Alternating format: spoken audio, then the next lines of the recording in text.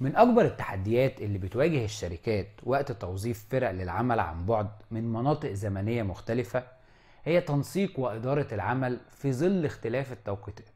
في الدرس ده هنتطرق لأفضل السبل لتحقيق عدم الإخلال بسير العمل. أول حاجة هي العمل ضمن ساعات عمل متراكبة. صحيح إن العاملين عن بعد بيملكوا حرية اختيار ساعات العمل اللي تناسب جدولهم ولكن لضمان سير العمل وتعاون الفريق بشكل جيد لازم تحافظ الفرق على تراكم من 3 ل 4 ساعات عمل بين الموظفين. ده كحد أدنى. بحيث يكون في وقت كل الفريق متواجد وده يسمح للموظفين بالتواصل من غير مواجهة أي عوائق وبيسهل التفاعل وتجنب التأخر وبطء العمل بالإضافة لتعزيز قيم العمل الجماعي.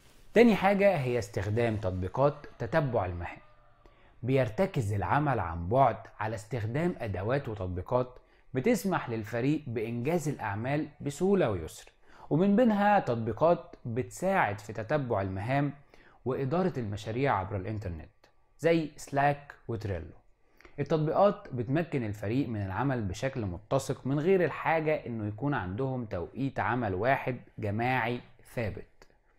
ولازم يتضمن الملف الشخصي لكل عضو من الفريق في التطبيقات المذكورة معلومات شاملة بتمكن الجميع من معرفة هو في أي منطقة زمنية وإيه المواعيد اللي يقدر يشتغل فيها يوميا وأيام عطلته الأسبوعية عشان تسهل التواصل معاه. تالت حاجة هي الاجتماعات الدورية. الاجتماعات الدورية بتلعب أثر إيجابي في التغلب على مصاعب وفروق المناطق الزمنية اللي بتعاني منه فرق العمل عن بعد.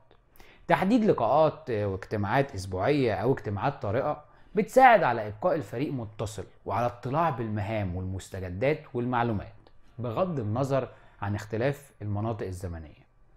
مثلا فريق بفر والموزع على 11 منطقة زمنية مختلفة بيخصص وقت مناسب لجميع الموظفين عشان يعملوا محادثات جماعية صوتية أو محادثات الفيديو. واستخدام الاتصالات غير المتزامنة وإجراء الاجتماعات الثنائية والجماعية كل أسبوع. لازم كمان يكون الفريق على استعداد إنه يقدم التضحيات ويتحلى بالمرونة عشان يتواجد في وقت واحد كلما دعت الضرورة. على أساس إن بيبقى فيه اجتماعات متأخرة جدا أو مبكرة جدا فده هيتطلب بعض التضحيات من بعض الناس. رابع حاجة هي توثيق الإجراءات.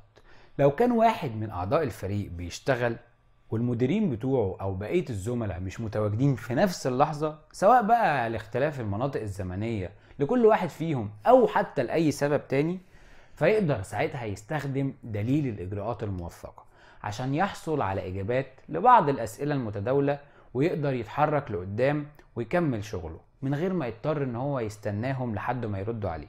وده بيخلي توثيق الإجراءات خطوة مهمة جدا بتضمن سلاسة سير العمل والتغلب على اختلاف التوقيت عند فرق العمل اللي بتعمل عن بعد في بلدان مختلفة.